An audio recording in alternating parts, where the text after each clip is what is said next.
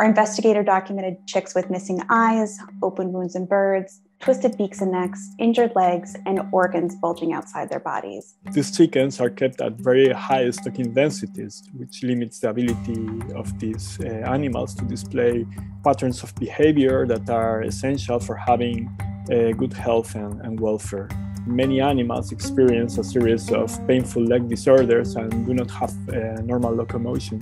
In fact, some of the birds are not even able to, to feed and drink, which is extremely dramatic. These animals also experience metabolic conditions such as sudden death. The ammonia that results from this situation uh, has a corrosive effect on the skin of these animals. Most of what MFA documented at this farm is not an exception, but the norm for US chickens raised for meat.